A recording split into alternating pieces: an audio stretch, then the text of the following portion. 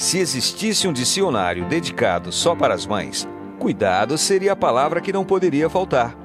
O vocábulo pode até não ser muito dito por elas, mas as atitudes que o representam não saem dos seus cotidianos. Para as mães que são profissionais de saúde, o cuidar se estende para os filhos de outras mães. No trabalho dessas mulheres, o zelo com os vitorienses está sempre presente.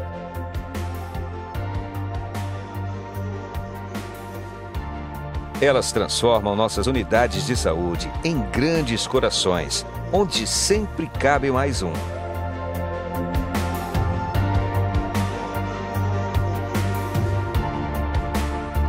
Uma homenagem da Secretaria de Saúde e da Prefeitura da Vitória de Santo Antão.